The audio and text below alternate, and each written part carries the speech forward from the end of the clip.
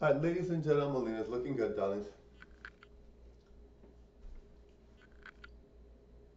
Bye.